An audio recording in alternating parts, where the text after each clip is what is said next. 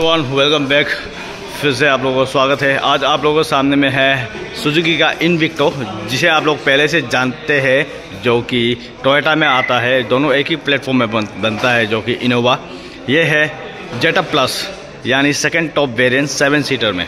तो इसका फीचर्स जानते हैं और क्या क्या कुछ आपको देखने के लिए मिलेगा मारुति में। इसे ही आपने पहले देखा होगा टोयोटा में। सो दोनों सेम टू सेम है इतना डिफरेंस नहीं है। सो यहाँ पे जो फ्रंट लुक्स आप लोगों को कैसे लग रहा है मुझे बताइएगा कमेंट में। उससे पहले मैं आप लोगों को इसका की दिखाना चाहूँगा कि कुछ ऐसा है जिसमें लॉक अनलॉक का बटन दिया हुआ है।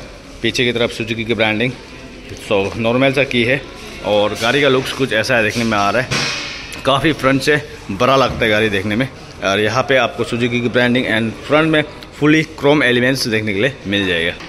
हेडलैम्प सेटअप का अगर हम बात करेगा तो यहाँ पे आपको फुल्ली फुल्ली एलईडी में देखने के लिए मिलता है। नीचे की तरफ़ यहाँ पे डीआरएल देखने के लिए मिलेगा। ये area fully black glossy finish के साथ देखने के लिए मिल जाता है। इसकी प्लेट सिल्वर कलर में मिलता है। और ये ग्रिल जो है वो भी आपको ग्लोसी फिनिश के साथ कुछ ऐसा पैटर्न के साथ देखने के लिए मिलता है। सो so, ये है साइड प्रोफ़ाइल साइड प्रोफ़ाइल में हम सबसे पहले आप लोगों को टायर दिखाने के लिए कोशिश करेगा, जिसमें अपोलो का टायर मिलता है डायमंड कट एलोज के साथ यहाँ पे सुजुकी की ब्रांडिंग एंड टायर साइज़ मैं बताना चाहूँगा 215 hundred fifteen by 60 R 17 17 inch का आपको टायर देखने के लिए मिल जाएगा। यहाँ पे आपको काफ़ी बड़ा सा स्पेस देखने के लिए मिलेगा, जो टायर का जहाँ अर्च है एंड ग्राउंड क्लियरेंस होने वाला है वन एट्टी mm का। तो ग्राउंड क्लियरेंस जो आपको इन इनोवा में मिलता है, वही मिलेगा देखने में। यहाँ पे बॉडी कलर पे आपको O R V M with auto foldable features के साथ इंडिकेटर यहाँ पे देखने के लिए मिलेगा एलईडी में। और ये एरिया में आपको, ये एरिया सिंपल सा जो कलर है ब्लू कलर में देखने के लिए मिलता है। ऊपर की तरफ़ कोई रूफ रेल्स नहीं है। तो रियर साइड में हम दिखाने की कोशिश करेगा। ये है रियर प्रोफ़ाइल इस गाड़ी का। रियर से देखने में कुछ ऐसा लग रहा है। और यहाँ पे आपको क्रोम एलिमेंट्स वाइपर डिफोवर नहीं आ रहा है इसमें। High stop tail lamp shark fin antenna and spoiler वगैरह देखने के लिए मिल जा रहा है। और ये है एलईडी टेल लैम्प जो कि काफ़ी ज़्यादा अच्छा लग रहा है देखने में। जो इनोवा है, उस सेम टू सेम लगेगा आपको। यहाँ पे देखिए इन विक्टो की बेजिंग एंड सुजुकी की ब्रांडिंग कैमरा का सेटअप एंड सेंसर्स देखने के लिए मिल जाएगा। पीछे साइड का जो बम्पर है, आपको ब्लैक में देखने के लिए मिलेगा विथ रिफ्लेक्टर के साथ।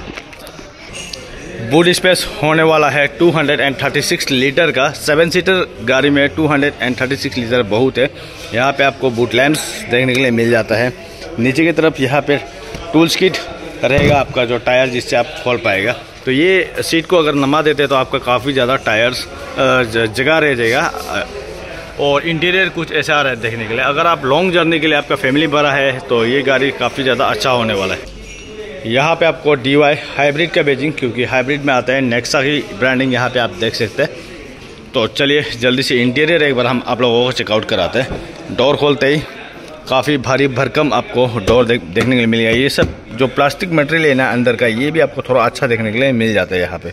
ये एरिया में थोड़ा गोल्ड टाइप कलर मिलेगा। और power window switches central locking का फीचर्स ओ आर कंट्रोल्स यहाँ पे मिलेगा। Sound speaker water bottle holder and कुछ ऐसा सीट्स है।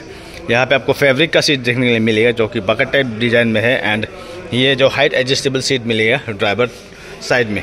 यहाँ पे आपको जो कि headlight levelling AC bands and बैठ के देखते हैं। सबसे पहले मैं इसका इंस्ट्रूमेंट क्लस्टर आप लोगों को दिखाना चाहूँगा। नॉट रेडी टू ड्राइव यहाँ पे लिखा हुआ है एंड इंस्ट्रूमेंट क्लस्टर कुछ ऐसा देखने में आ रहा है, जहाँ पे आपको फुल गैज हीट एंड आपको काफ़ी ज़्यादा फीचर्स देखने के लिए मिल जाएगा जो कि आपको डिजिटल में देखने के लिए मिलता है। और यह है स्टेयरिंग व्हील जो कि आपको ज़्यादा बड़ा भी नहीं, ज़्यादा छोटा भी नहीं कहूँगा ठीक ठाक है। और यहाँ पे आपको पेडल शिफ्टर्स देखने के लिए मिल जाएगा, क्योंकि यह है आपको ऑटोमेटिक वेरिएंट में देखने के लिए मिलता है। तो फीचर्स वाइज काफ़ी ज़्यादा फीचर्स मिलेगा यहाँ पे। स्टेयरिंग व्हील टिल्ट है टेलीस्कोपिक दोनों ही देखने के लिए मिल जाते हैं। ये कंसोल आप देख सकते हैं, यहाँ पे टच स्क्रीन जो साइज़ है, वो इतना ख़ास बड़ा नहीं है। थोड़ा छोटा साइज़ का है फिर भी इसमें आपको Android Auto Apple CarPlay and Bluetooth जैसे वायरलेस फीचर्स सपोर्ट हो जाएगा। यहाँ पे हज़ार लाइट्स देखने के लिए मिलेगा। ऑटो क्लाइमेट कंट्रोल ऐसी का फीचर्स है।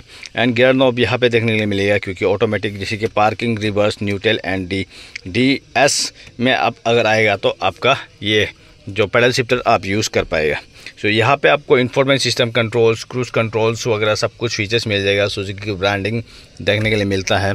सेफ्टी में सिक्स एयरबैग्स देखने के लिए मिलेगा। एंड यहाँ पे type C to type A port आपको देखने के लिए मिलेगा। ड्राइव मोड आप सेलेक्ट कर सकते हैं। यहाँ से जैसे कि स्पोर्ट्स हो गया ये, आपका इको मोड हो गया नॉर्मल मोड हो गया तो आप ऐसे अपना हिसाब से ड्राइव मोड सेलेक्ट कर सकते हैं। ईबी e मोड में आप चला सकते हैं। लाइक ये ईबी मोड जैसे आपको grand Vitara hybrid strong hybrid में देखने को मिलता है ना, वैसे ही इंजन इसमें मिलता है। लाइक आपका अच्छा खासा आपको माइलेज मिल जाएगा इतना बड़ा गाड़ी में। सो डैशबोर्ड का डिज़ाइन आपको कैसा लग रहा है? यहाँ पे जो हार्ड प्लास्टिक मिलेगा ये एरिया में आपको सॉफ्ट टच मटेरियल देखने के लिए मिल जाता है। यहाँ पे कुछ स्टोरेज एंड यहाँ पे एक आपको सॉकेट भी ट्वेल्व बोर्ड का मिल जाता है, जिससे आप अपना फ़ोन वगैरह चार्ज कर पाएगा। एंड ग्लोब बॉक्स एक अगर देखेगा तो काफ़ी बड़ा सा एक ग्लोब बॉक्स आपको देखने के लिए मिल जाता है। यहाँ पे आपको डे एंड नाइट एयरबीम देखने के लिए मिलता है। एंड ऊपर की तरफ़ यहाँ से आपको रीडिंग लैम्प्स मिलता है येलो कलर के अंदर। सो कुछ ऐसा एंड सनरूफ वगैरह नहीं है। कुछ ऐसा सिंपल सा दिया हुआ है। यहाँ पे आपको कप होल्डर मिल जाएगा। ये एरिया में कलर जो दिया हुआ है ना, काफ़ी ज़्यादा मज़ा लग रहा है देखने में। एंड आर्मरेस्ट काफ़ी बड़ा चौड़ा आमरेज देखने को मिलेगा। ठीक, उसके नीचे आपको काफ़ी बड़ा सा एक स्टोरेज मिल जाएगा, जिसमें आप अपना ज़रूरतमंद सामान रख के अपना जर्नी का एंजॉय कर सकते हैं। यहाँ पे आपको लैंप स्पीकर एंड यहाँ से यहाँ से आपका साउंड जो बाहर, आज बाहर जाएगा जिसे आप फ़ोन वगैरह में बात करिए यहाँ पे बेनेटी मिरर एंड को ड्राइवर साइड में भी आपको सेम टू सेम देखने के लिए मिल जाते हैं। तो ये था फ्रंट साइड जो ड्राइवर साइड का और इंजन क्या पावर जनरेट करके देगा क्या माइलेज मिलेगा आपको सब सब कुछ आप स्क्रीन में एक बार चेकआउट कर लीजिए। ये आपको क्या माइलेज देगा क्या आपको इंजन आउटपुट निकाल के देगा सब कुछ इस वीडियो के अंदर मैं आप लोगों को बताने जाऊँगा। सो so, दोस्तों प्राइस होने वाला है almost twenty five lakh ninety thousand कुछ अप्रोक्स मतलब पकड़ के चलिए एक शोरूम आपका ट्वेंटी सिक्स लैख आसपास का पड़ जाता है। तो ऑन रोड कितना पड़ेगा? आप अपना जगह तो जगह बेरी करता है, देख लीजिए एक बार। सीट कुछ ये है थर्ड रो यानी second row sorry second row कुछ ऐसा है। कैप्टन टाइप सीट में आपको देखने के लिए मिल जाता है, जिसमें आपको बीच में यहाँ पे कप होल्डर्स जिसमें आप आराम से अपना चाय वगैरह पी के जर्नी का मज़ा ले सकते हैं।